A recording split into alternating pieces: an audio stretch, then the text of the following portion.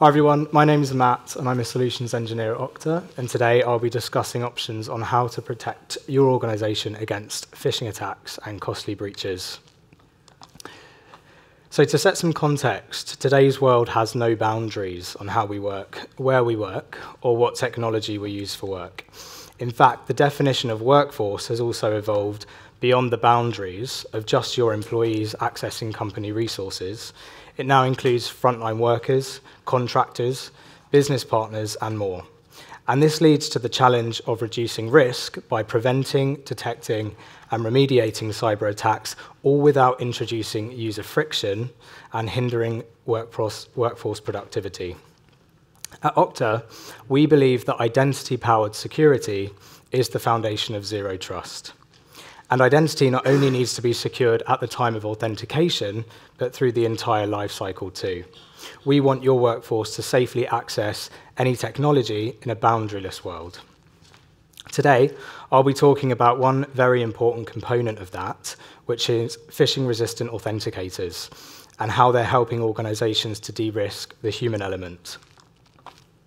Let's start by reminding ourselves why this topic is so important. The reality today is that hackers don't always hack into your systems. A lot of the time, they're simply logging in. It's no secret that phishing attacks are on the rise and are a widely used and successful set of tactics used by bad actors to steal credentials using a spoofed website. The login and password credentials can then be used by the attacker on a real website, either at a later point or in real time, to gain access to valuable data and systems. To maximize their chances of success, threat actors are using our natural human instincts to their advantage. They exploit our inclination to be helpful, make quick decisions under pressure, and overlook potential dangers when our emotions are stirred. Humans are quite often the weakest link, and that's why people are partially or fully responsible for almost three quarters of breaches today. And last year saw a peak in the overall number of successful phishing attacks. All of this leads to account takeover and data breaches, which is a huge cost to employees and business. This graph is taken from IBM's annual cost of a data breach report, which is a long-standing report that's now been running for over 18 years. What you can see in this slide is the overall cost of a data breach has been rising almost by 17% over the past five years. What we found to be particularly notable in that report is that the cost of a data breach varies depending on the initial attack vector. As you can see, breaches initially caused by phishing or stolen credentials accounted for a higher than average overall cost. In fact, the only initial attack vector measured in that report that resulted in a higher overall cost was malicious insider that Sarah's just been discussing, which I think underscores the importance of properly managing not just how people access systems, but what they can access and do once they're in. Relevant to that are things like least privilege, segregation of duties, time-bound access, and privileged access management. What you can't see on this slide is that breaches that were initially caused by stolen credentials also took the longest to identify and contain, around 11 months versus 9 months for other initial attack vectors, so two months longer for breaches initially caused by stolen credentials. Phishing attacks can be categorized as identity or endpoint attacks that typically result in credentials being harvested. Starting with identity attacks, this is where an attacker is trying to trick users to get hold of credentials. Common attacks leverage phishing emails, SMS messages designed to trick legitimate user into visiting phishing sites that look like a, legitimate site. Readily available and easy to use phishing kits like Evilginx have made real time adversary in the middle attacks easier to execute than ever. Users are tricked into providing their real credentials, and fraudsters capture them while proxying the communication with the real servers. During the attack, the credentials as well as session cookies are captured, leading to account takeover. The good news is that you can protect against identity attacks, account takeovers, and loss of credentials through phishing resistant authenticators and flexible access policies. And we'll get into the details of how to do that in a few minutes. In addition to identity attacks, businesses experience endpoint attacks. These are the attacks on the device and the network itself. The attackers exploit software vulnerabilities um, and develop kits that install malware or ransomware or hijack sessions and much more. Endpoint protection software can protect users uh, and devices against malware. And at Okta, we believe that those solutions can also act as a valuable input when making an access decision. If we know that the device is in poor health, we don't want to start a new SSO session on that device. For the remainder of this talk, we'll be focusing on preventing identity attacks. So that means phishing-resistant authenticators and policies. So phishing-resistant authenticators have three main properties. The first is that they don't use shared secrets, no passwords, no one-time passwords. An asymmetric key pair is generated and the private key is stored in the hardware security module. So that can be a TPM, the secure enclave on the device, and so on. The most important thing is that it's on the device and it doesn't leave the device. Secondly, they're origin bound. So the key pair is tied to a specific domain, registered against that key pair at the time of enrollment. So trying to use that key pair on any other domain at a later time will result in an error, which is very handy for us if the legitimate end user is tricked into visiting a malicious domain. Finally, they're trusted. Many authenticators include a cryptographic mechanism that enables us to prove that they are a genuine device from a trusted manufacturer. And that in turn allows you to enforce better control over which authenticators are permitted within your ecosystem. So hopefully you can start to see how these types of authenticators are very difficult to phish. And let's take a look at an example.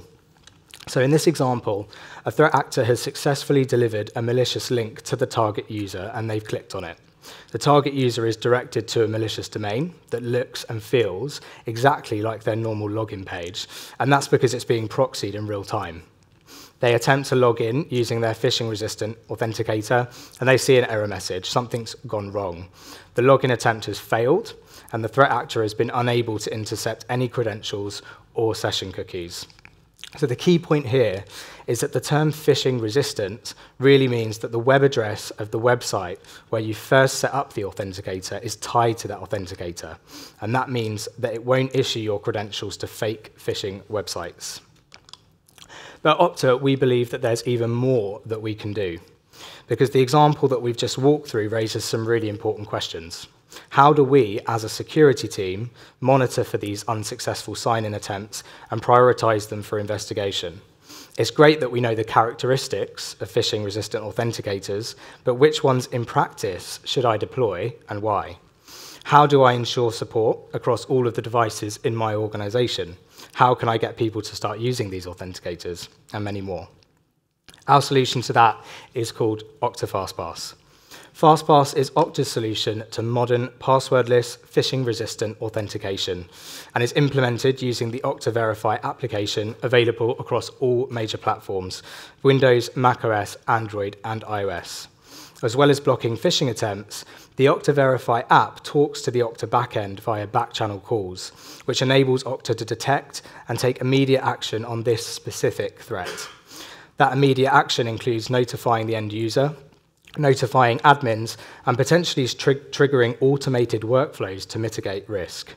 This drives down the time to respond, enabling security teams to take action to protect other users who may not yet be using phishing-resistant authenticators.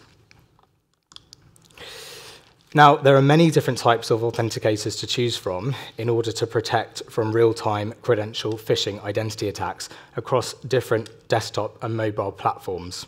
Choosing the right authenticator depends on your deployment needs, but for the majority of deployments, Okta FastPass is a great fit, uh, both in terms of the user experience um, and in terms of the security with the device and location context.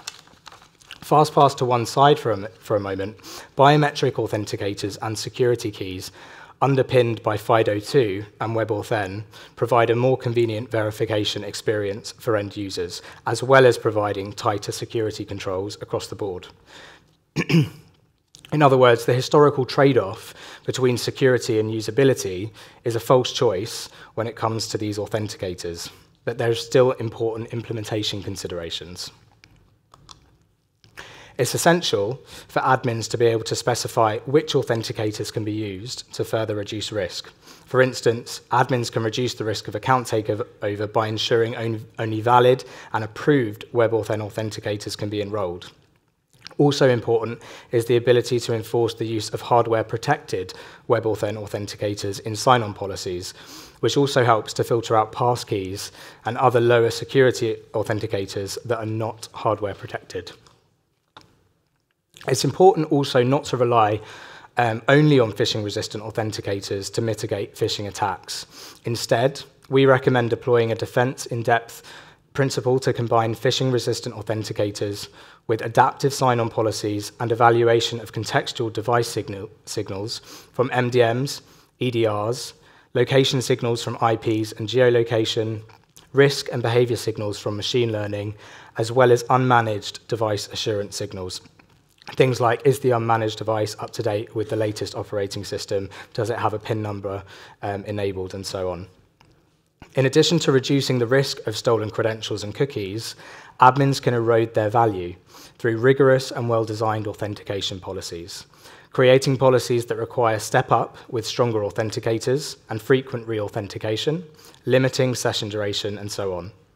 Finally, using automated security workflows along with logging and auditing features can enhance remediation efforts based on security events.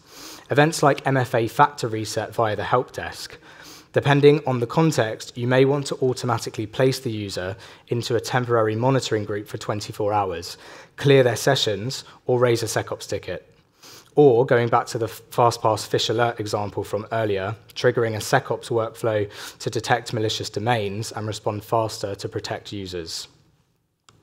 So in conclusion, our main takeaways are, one, we recommend going passwordless by driving your organization's adoption of phishing-resistant authenticators. Set authentication policies and contextual policies. That means going beyond sole reliance on the user authenticating successfully, but considering signals from the device and the network and whether that login is usual for that user.